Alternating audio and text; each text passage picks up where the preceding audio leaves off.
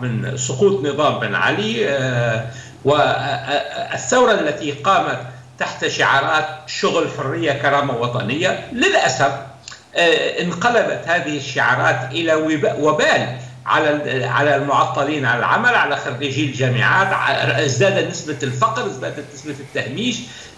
انتشر الفساد ومافيات الفساد في تونس بشكل مخيف وبالتالي كان هنالك حالة من الغضب. بدات يعني تتصاعد خاصة مع نهاية السنة التي شهدت تجاهل حقيقي لمطالب أبناء الشعب بالحق في العمل ارتفاع نسبة الفقر ارتفاع نسبة البطالة غياب دور الحكومة في دعم يعني الطبقات الفقيرة في تونس كل هذا أدى إلى حالة احتقان وغضب شعبي كانت واضحة منذ البداية أضف عليها أيضا أن انتشار جائحة كورونا في تونس وعجز الحكومة على اتخاذ إجراءات جدية للتصدي لهذه الجائحة أو على الأقل البحث عن إيجاد من يقوم بتوريد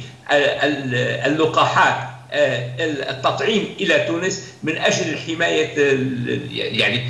وإعادة تشغيل حماية الناس وإعادة تشغيل الاقتصاد الذي تعطل بشكل كبير. أيضا هنالك القضية التي كس يعني أثارت غضبا كبيرا في تونس هو أن رئيس الحكومة قام بتحوير وزاري قام بتغيير صفة حكومته من حكومة تكنوقراط إلى حكومة خاضعه لتجاذبات أحزاب سياسية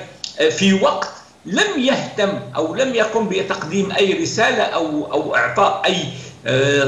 طمأنة للشارع بأن هنالك اهتمام بما يجري